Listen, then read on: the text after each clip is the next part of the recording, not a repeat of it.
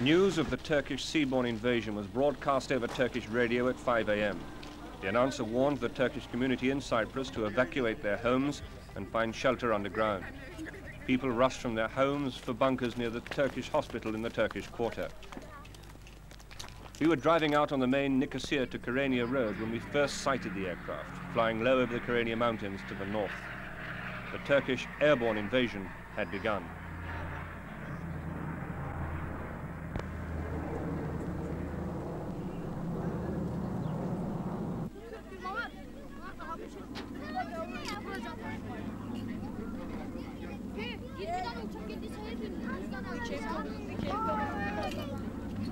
It's now about three minutes past six, four minutes past six, and the first of the Turkish troops have landed in Cyprus.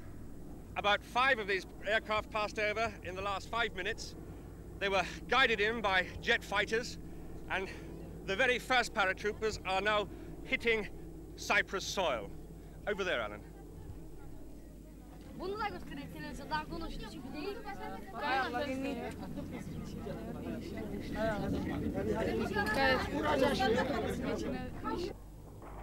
The aircraft came in waves at five-minute intervals with 60 paratroopers for each aircraft.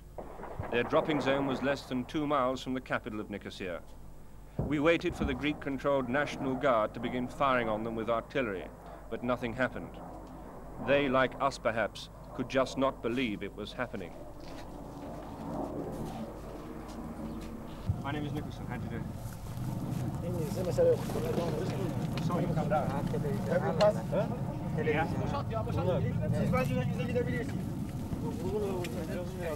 People in the Turkish Cypriot villages by the road, the people the paratroopers had come to protect, cheered them down. These first invaders had all landed close together, about 600 men, and within minutes they were on their way, close to the town of Gonyeli.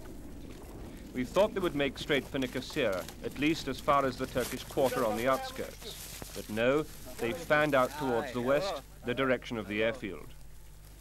They were carrying light weapons. They had no small artillery, which, as we discovered later, they were to need when the Greeks began shelling them.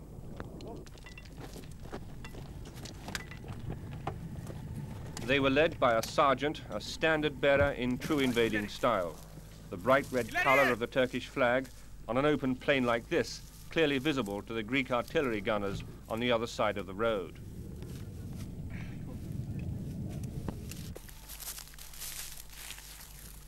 Small boys from the villages carried parts of the heavy machine guns for the troops, who also had with them mortars and anti-tank guns.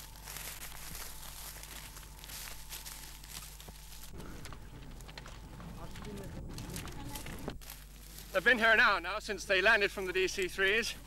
Now about 500 of them in this position. They are moving towards the main road, the Kyrenia Nicosia Road, and now one and a half miles from Nicosia over there. Within an hour of the parachute landing, the first of the Turkish jet fighters began circling overhead.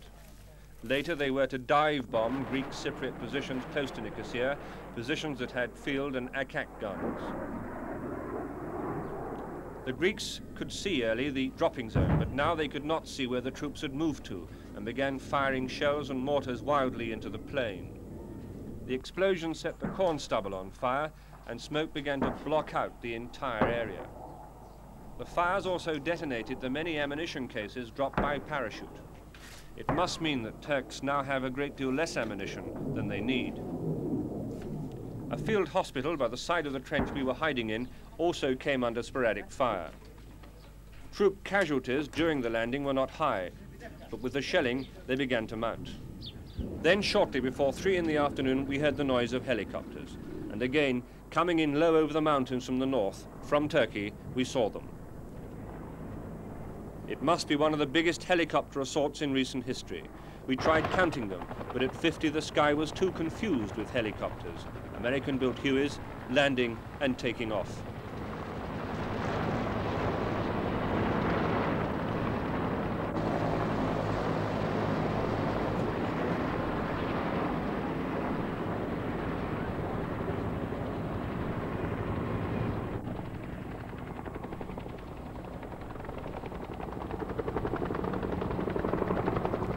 Troops took cover away from the road and moved east. The Greeks began shelling, but the Turks were well hidden by now before the artillery could get decent sights on them.